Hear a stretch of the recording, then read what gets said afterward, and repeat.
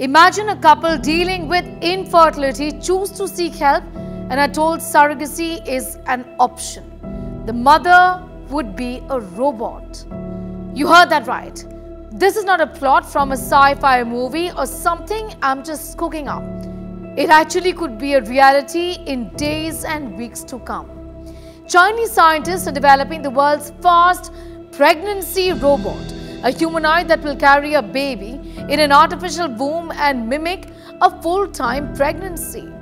For those struggling to conceive, hiring a humanoid to carry their baby will cost about 12 lakh rupees or a lakh yuan. The machine, equipped with a system that feeds the fetus nutrients through a hose, could one day mimic a full-term pregnancy before giving birth.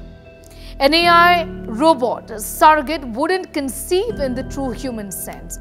Instead, it would house an artificial womb implanted inside its body where a fertilized embryo is placed. The robot's advanced systems would then provide nutrients, oxygen and monitor the developing fetus, mimicking the functions of a natural pregnancy.